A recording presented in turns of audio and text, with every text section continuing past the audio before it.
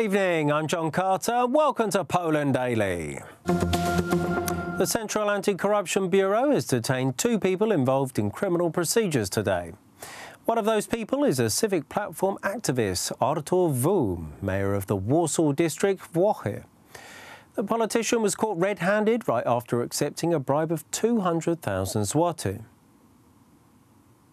Agents from the Warsaw delegation of the Central Anti-Corruption Bureau detained the mayor of Włochy district in the act of accepting a bribe of 200,000 zloty. The local government politician received money from a well-known developer in Warsaw and in return he helped him obtain decisions favorable for the developer related to building conditions. The officers of the Central Anti-Corruption Bureau searched the mayor's office and the headquarters of the businessman's companies where documents, binary copies as well as data carriers were secured which will constitute evidence in the case. The detained men were taken to the Warsaw District Prosecutor's Office where they will hear allegations. okręgowej w Warszawie, tam usłyszą zarzuty. Zawnioskowałem dzisiaj od rana Today, I applied for the suspension of the mayor of the Włochy district as a member of the civic platform. I am waiting for further information from the prosecutor's office and from the court. We will make further decisions after assessing the whole case in the form of statements from state institutions, not television. The Polish Supreme Court has made a decision on an election protest filed by the Law and Justice Electoral Committee regarding the ballot count in the 75th district in elections to the Senate. The recount was not allowed and the court left the case without further action. Meanwhile, everything indicates that the first major challenge for the new set of senators will be the election of the Chamber Marshal. Both Law and Justice and the opposition believe that this function belongs to them. The talks are underway, but are branded as a complicated puzzle by civic coalition politicians. That is the reason they still do not have a candidate from the opposition for Speaker of the Senate. Grzegorz Schetyna says that he is an optimist. Polish People's Party politicians say that the Senate should be regarded as a senior chamber, more serious, expressing reverence in all matters, not a scene of filibusters or fuss. The candidate who could guarantee such qualities in the higher chamber was not selected. został jeszcze przedstawiony. Dla mnie jest sytuacja oczywista. For me, the situation is obvious. The Speaker of the Senate must be from the opposition, from the Civic Coalition, simply because of the seat count. The ratio is 43 senators from the Civic Coalition to the Polish People's Party 3 senators, and United Left 2. The choice seems obvious. Wśród koalicji obywatelskiej. Jestem przekonana tak czy inaczej, że tych I'm sure that the 51 senators from the opposition will elect an appropriate Speaker of the Senate who will be an example in leading parliament procedures as those need improvement in our lower house. wiadomo, ten parlamentaryzm dawno umarł. Ja mam nadzieję, że już 12 I hope that on November 12 we will joyfully elect a new Speaker of the House. I count on the opposition's solidarity in supporting one candidate. Today, the Senate is taken by the opposition and is being observed by the constituency. Uh, An exemplary Speaker of the Senate and the Presidium is to be expected. konsekwencji i wybro- wyboru prezydium. To będzie kandydat opozycji. The candidate must be from the opposition. We are not going to agree on the candidate from the Civic Coalition because they are not the only party in the opposition. Obywatelska. Kandydatem Prawa i Sprawiedliwości na urząd marszałka jest Stanisław It is natural that the candidate will be from the Law and Justice Party. We won the election. We have wygrało 48 do senators. We, as the najliczniejszą Law and Justice reprezentację, Party bo Centers, will 48 pick Stanisław senatorów Karczewski i my as jako our senatorowie candidate Prawa for i the Speaker of Sprawiedliwości the będziemy Senate. zgłaszać Stanisława Karczewskiego na s- urząd marszałka. A wszystko ostatecznie rozstrzygnie się na Everything will be pierwszym finally posiedzeniu resolved Senatu w during the nowej first session of the kadencji. Senate, during which the Prezydent Speaker, trzeba będzie Deputy dokonać wyboru, Speaker, and the e, Presidium nowego will be marszałka, elected. Wicemarszałków e, Izby posiedzenie zaplanowano na 12 listopada.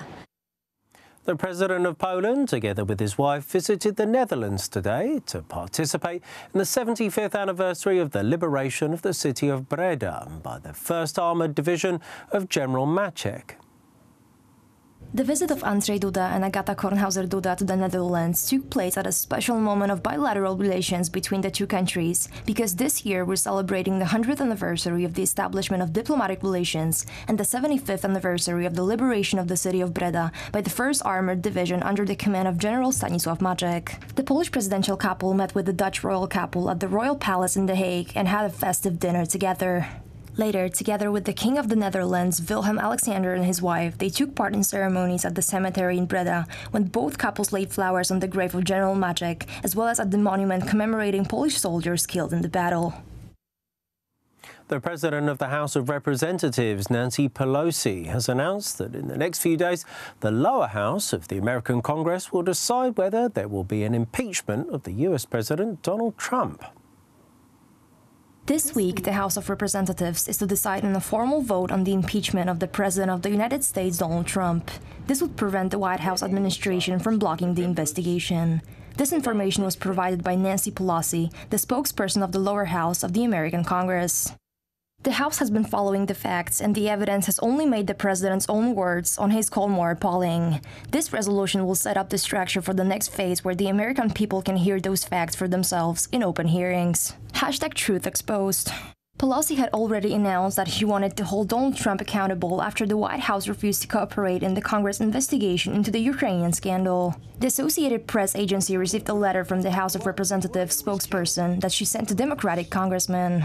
The leader of their group announced that the vote will eliminate all doubts as to whether the Trump administration must comply with congressional investigation requirements.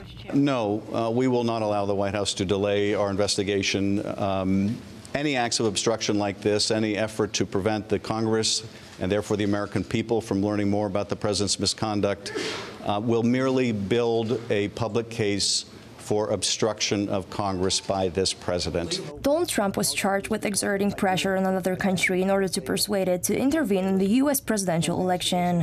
The investigation in this case concerns a controversial telephone conversation of the American president with the president of Ukraine, Volodymyr Zelensky, from July 25th.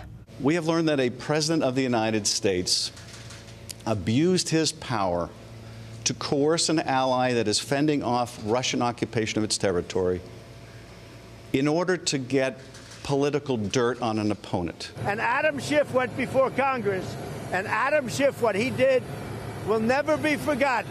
He made up a conversation that was a phony fabrication, it was a fraud, and people shouldn't be allowed to get away. They say he has immunity because he's a member of Congress.